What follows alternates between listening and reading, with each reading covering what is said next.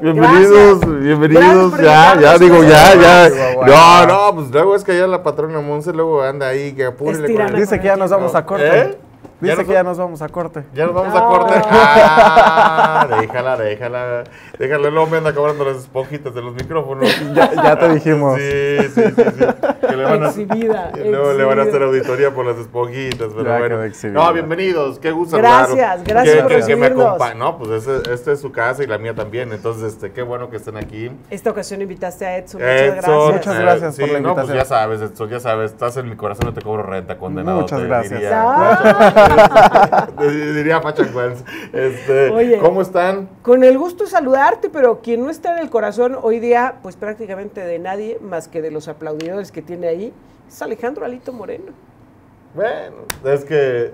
Esa imagen Y- y de de, la- de la la- Asamblea Nacional. Y de las de los PAC, este. ¿Te acuerdas? ¿Te acuerdas?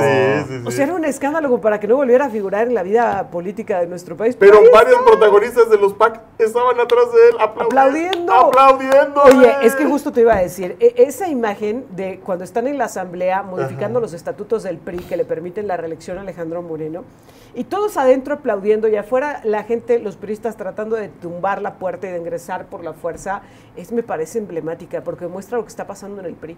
Adentro, los que aplauden. Y los que no aplauden, se quedan afuera. ¿Tú has, tú has ido aquí a Peñasco o algún este, basurero? Sí, sí, sí, sí, Bueno, t- con todo respeto a los eh, ingenieros químicos en, en perfeccionamiento o llamados pepenadores, este, ¿cómo, cómo se, se pelean por la basura? Este, haz de cuenta, así era eh, eh, el, el auditorio Plutarco Elías Calles, allá en la sede nacional del nunca revolucionario, pero siempre institucional. Eh, ya, ya es un es un basurero, es un lugar de escombros en donde Que fue en el Pepsi Center. el Pepsi Center, perdón, Pe- Pepsi Center, perdón, yo estaba con, todavía con el tema del Plutarco Elías Calles, me- perdón, qué bueno que me corriges, este, pues ahí era un escenario de un, de un basurero, de un, de un, un punto de- Peleándose por la PP. de- por el cascajo, o sea, ¿qué diría Plutarco Elías Calles? ¿Qué diría el general Lázaro Cárdenas? ¿Qué dirían los grandes ideólogos del, del revolucionario institucional? ¿no? Porque el PRI sí tuvo grandes ideólogos eh, eh, en, en su formación, en su fortalecimiento, en su crecimiento y en su casi extinción, ¿no? Eh, que hoy estén viendo a un personaje como Alito Moreno, que es un megalómano, de una u otra manera, digo, aparte se cree de esos padrotones de la política que hay, que llega y, y quiere impresionar. Creo que lo que estamos viendo del PRI es muy lamentable y muchos priistas de cepa, muchos priistas que tienen el corazón rojo y, defienden a ultranza eh, los ideales de, de, de, ce- de ce- de- de centro, o sea, este, ellos decían que era un, partido de centro izquierda, ¿no? Eh, entonces creo, creo que eh, las causas sociales se olvidaron en, un, en un, en un así, de la... Pero ¿por qué sigue legitimado como, como dirigente nacional? ¿Por Y no ante todos los priistas. Pero a ver, vamos a revisar el escándalo del tema de los PACs. Ya que lo traías a colación. A ver, el yo del no. enriquecimiento. Yo no, a ver, yo Lo no. trajiste a colación del A ver, tema, yo no. a lo que yo sucedió. no, a ver, yo Ahí no. Eh, eh, el señor por andar de cachondo, o sea, yo no. O sea, yo no. O sea, bueno, ese escándalo. Sí, ¿verdad? El de enriquecimiento ilícito. De, de las presiones, de las investigaciones abiertas en su contra y ahora que le vuelven a sacar la cantidad de propiedades que tiene, pero además el costo que tiene cada una de ellas. Sí, Alito es y un nopal. sigue ahí.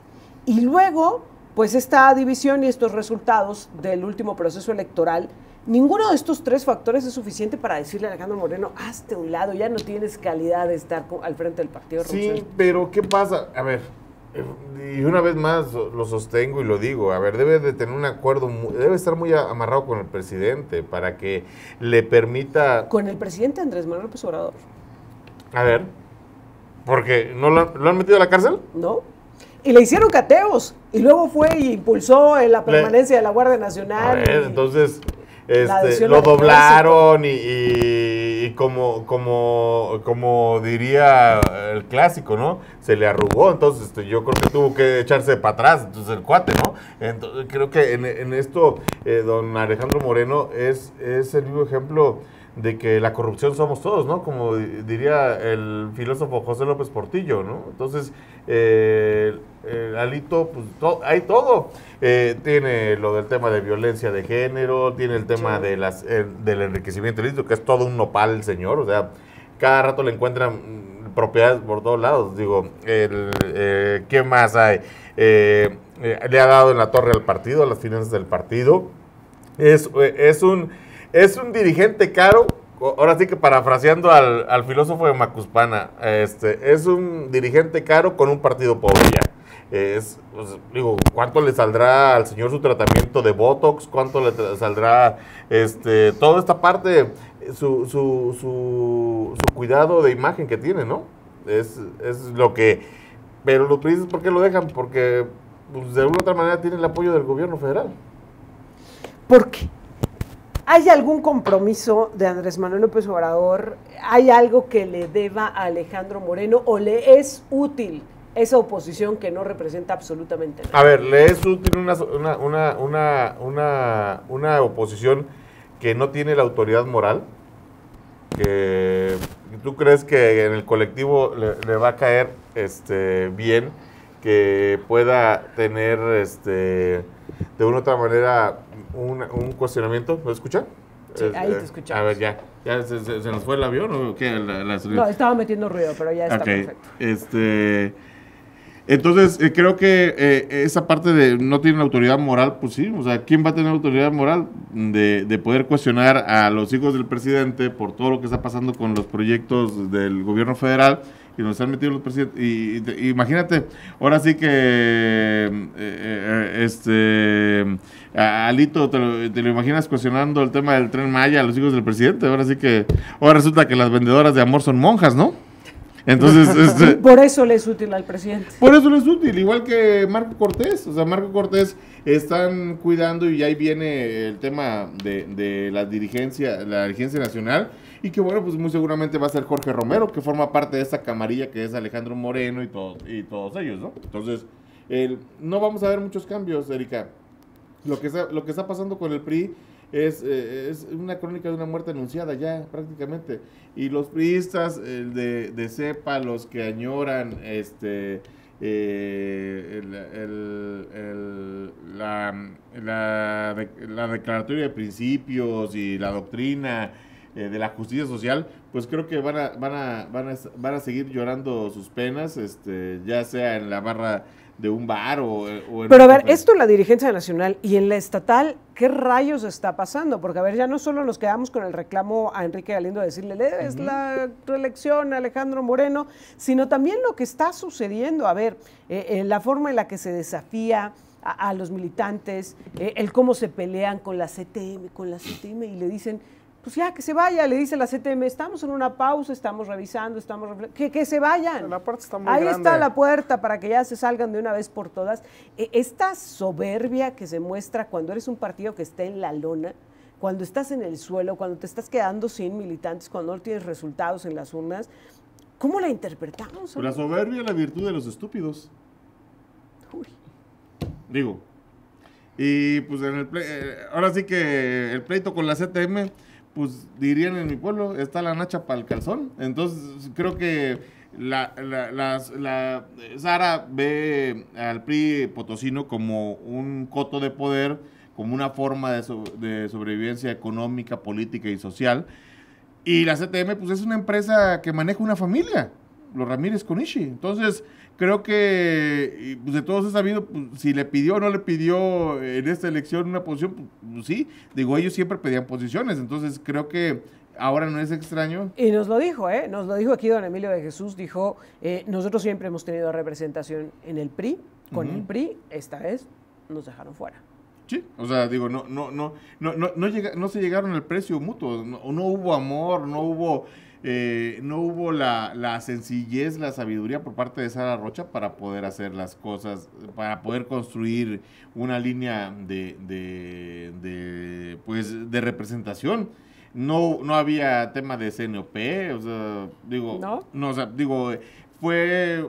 Ya se les fueron mejor las organizaciones hacia el verde, hacia Morena, hacia todos lados, menos allá. al PRI. ¿A dónde? Se diversificaron. Ya, ¿Se diversificaron o huyeron?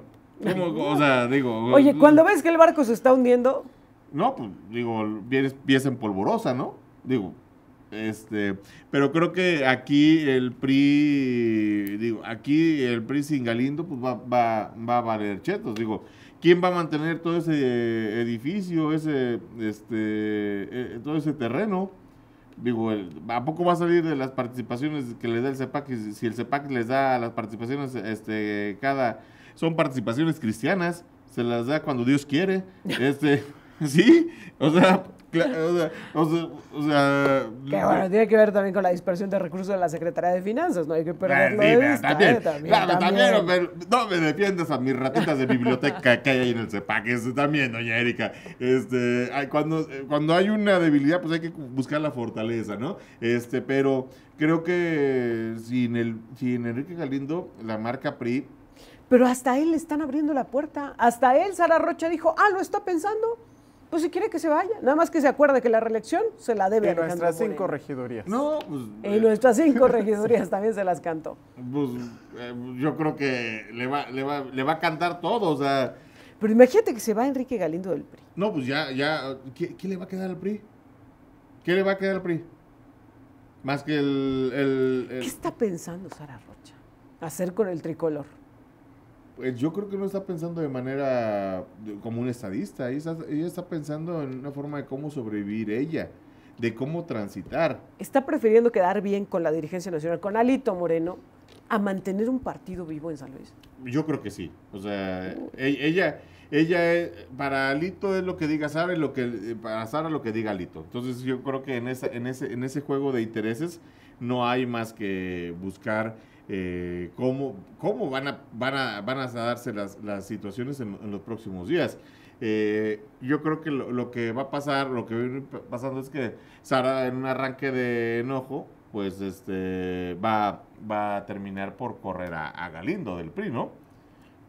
¿Y no te conviene más, en todo caso, sabiendo que ya no hay perfiles que tú digas aquí en San Luis son los grandes periodistas que mantienen este partido, a excepción de, de Enrique Galindo, eh, tenerlo o, hacer todo lo necesario para hacer que eh, el PRI se mantenga vigente? Porque en todo caso, viéndolo por intereses, te cuesta más que siga siendo redituable y siendo factible a que deje de existir. Porque en un arranque de esos que puede llegar a tener Alito, le dice, pues, ¿sabes qué? Igual y gracias por todo tu apoyo que, que me diste en No, no creo, no 2024. creo, no creo. No, creo que le den gas a, a ¿Crees Sara, que no? ¿eh? No, no, no, no, no, no, Alito, Alito está, entregó cotos de poder en los estados y este, y ahí lo veías, esa imagen donde él soberbio le está diciendo, ahora sí que, eh, Mientras le sigan aplaudiendo, puesto garantizado. pues sí, no, mientras le sigan aplaudiendo va a haber show, show, este... Si ustedes no dejan de aplaudir, diría...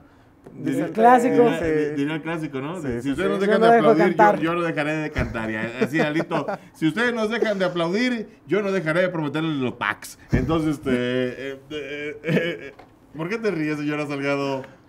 ¿Por qué? Qué barbaridad. Qué, ¿Qué? barbaridad Ah, lo que vemos en la política. No, pues es que la política hay cosas muy, muy Pero interesantes. tío, lo increíble es que siga vivo en la política. Es que, a ver, ha habido escándalos en el resto del mundo. Eh, te acordarás, eh, un legislador en Reino Unido que tiene una aventura extramarital y le cuesta la carrera política. Lo exhiben y va y renuncia, ofrece una disculpa, no solo a su familia, sino diciendo, Pobrecito. a ver, pues si no soy honorable a mi familia, no soy honorable al pueblo con permiso. Y se va. Y se acaba su carrera. Sí. Hemos visto incluso presidentes dimitir por cuestiones menores a las que hemos visto en estos dirigentes partidistas, y ahí siguen. Sí, pero es que ahí hay moral política. Y aquí hay excremento de moral. Aquí la moral, de, diría el clásico mi general Gonzalo Santos, ¿no? Es un árbol que da moras. Entonces, eh, creo que a- a- allá hay moral política.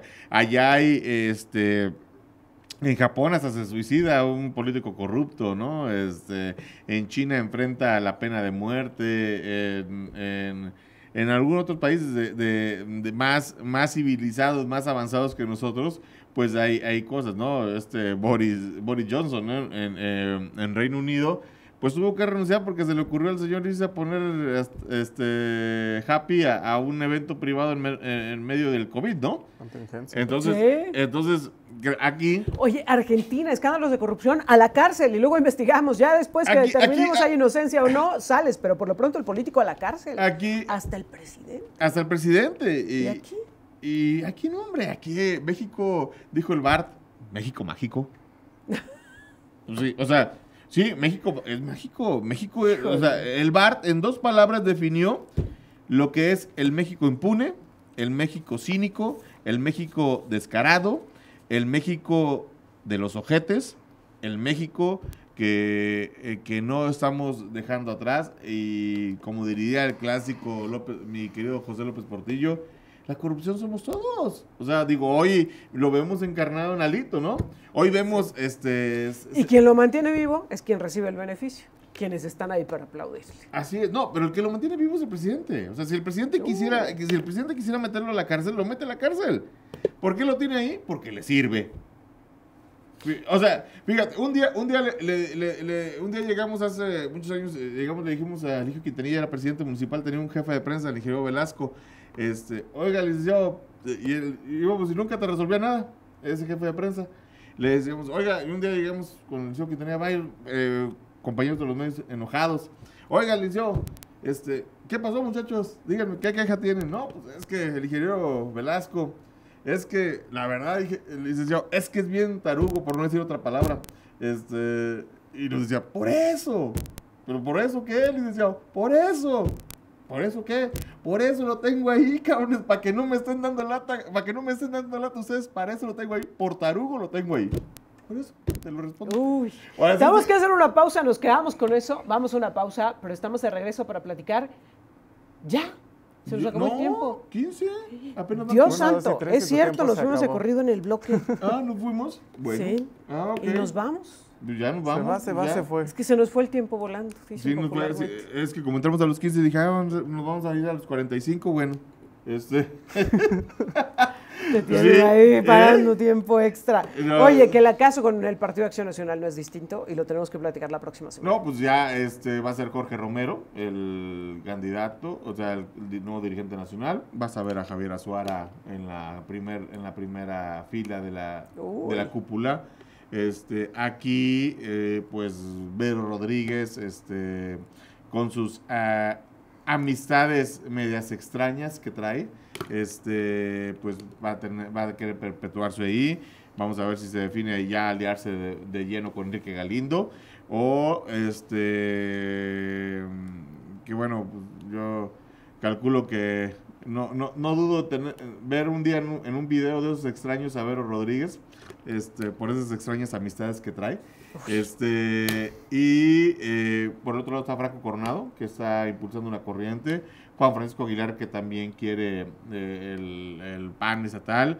Eh, vamos a ver qué dice el nuevo jefe, el nuevo jefe este, de plaza, digo, del PAN, o sea, David Azuara.